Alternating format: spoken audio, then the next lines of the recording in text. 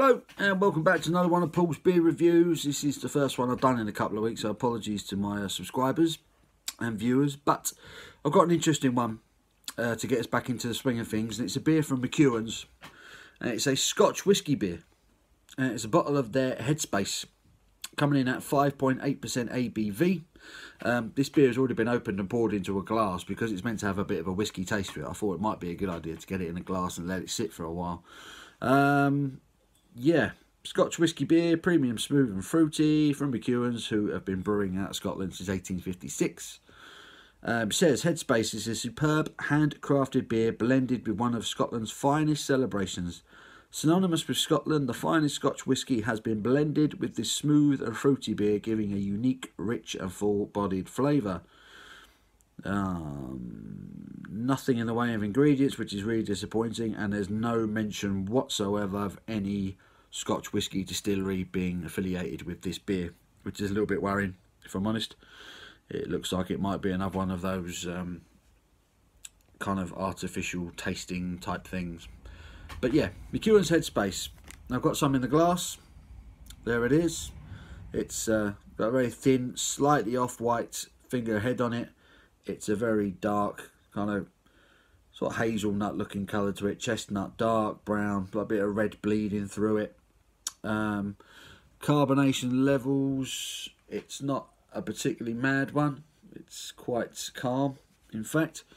Um, yeah, it's a kind of a traditional looking kind of ruby ale. Let's get an aroma on it. Loads of fruit. It's like a bit of toffee malt. Um, yeah, this just smells like a uh, a traditional fruity malty ale. To be honest with you,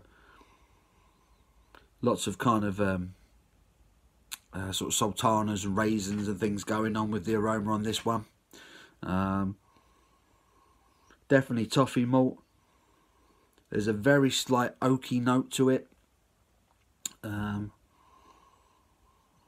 smells a little bit like old speckled hen, but just with a slight kind of little bit of smoke to it. But it is very subtle. That slight oaky aroma, along with the fruit and the toffee malt. Um, let's get a taste. Cheers, guys.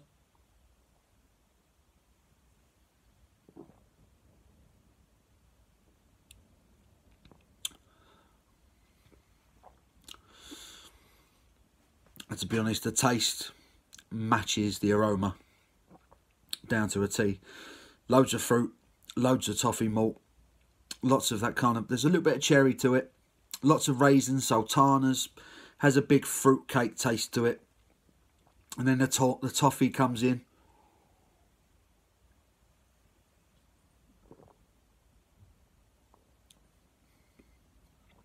So definitely a slightly boozy fruitcake taste to it. There's the toffee. And with the aroma, there's that slight bit of oakiness. It's a very, it's different this. Instead of, it's not hoppy. It's not particularly bitter. But there is this slight oaky, very subtle kind of peatiness. Um, it, that oakiness, that peatiness that I'm talking about doesn't sound it it doesn't taste particularly natural, if that makes any sense. It, it tastes slightly artificial, um, almost slightly chemically, if I'm being honest. Um, initially, that fruitcake taste, that, that toffee malt is quite pleasant.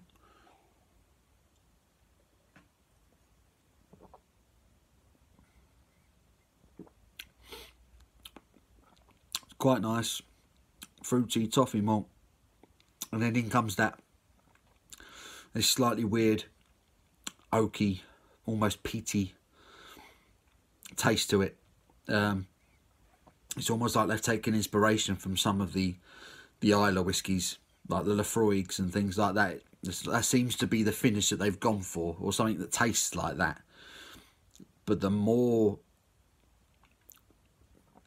that lingers slightly this oakiness it lingers and the more you taste it the more kind of artificial and sort of just bordering on chemically it's starting to taste. It's just starting to become a little bit unpleasant.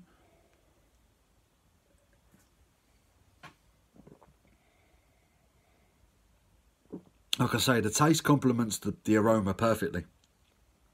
You smell it and you taste it, and it matches up almost to a T. It reminds me a little bit of. Um, it reminds me a little bit of Lidl's Ruby Rooster, the Hatherwood beer. Um, in that it's, well, I say it reminds me of the old Ruby Rooster. I reviewed Ruby Rooster a couple of weeks back, and I think that recipe is improved. It's gone up a level. This reminds me of the old Ruby Rooster. Almost like it's like a little bit light on the ingredients. It has like a nice flavour, but there's not enough of it. Pardon me. And then they've tried to add something to give it kind of a Scotch whiskey feel. And it is that oakiness, that's that very slight smoke taste with the oak at the back end of it. But it tastes very artificial and slightly chemically. And it's not very pleasant. The more I drink it,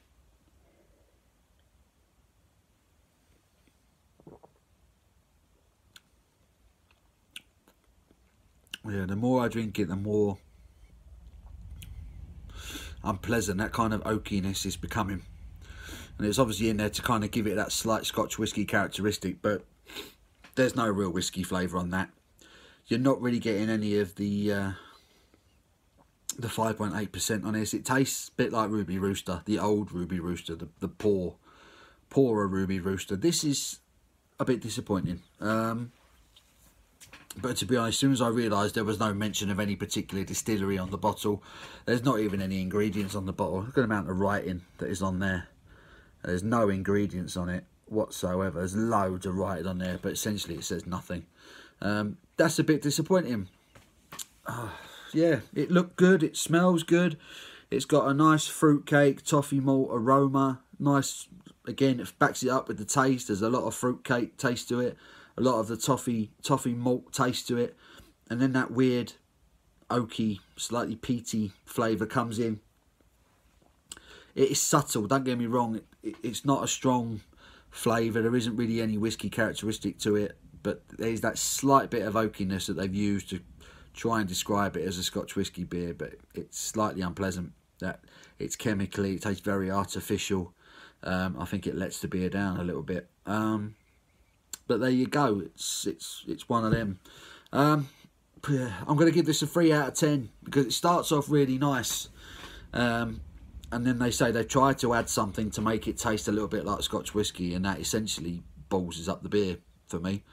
Um, if they'd have left the beer characteristics out of it and not bothered trying to make a, a whiskey beer, it probably would have been quite a nice multi ale. But um, yeah, there you go. Um, McEwan's Headspace Scotch Whisky Beer, 3 out of 10. This is available in most supermarkets now, I believe.